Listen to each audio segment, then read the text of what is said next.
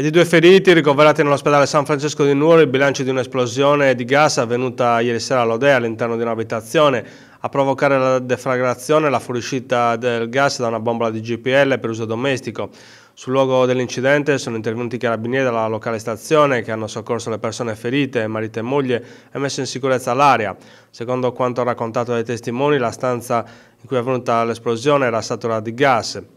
L'esplosione ha anche abbattuto il muro dell'abitazione adiacente. I militari hanno allertato il 118 che ha soccorso i feriti e li ha trasportati nel nosocomio nurese dove sono state prestate le cure del caso. Sul posto anche i vigili del fuoco del distaccamento di Siniscola che unitamente ai carabinieri hanno avviato le indagini tecniche per accertare le esatte cause della deflagrazione che solo per un caso fortuito non ha provocato vittime.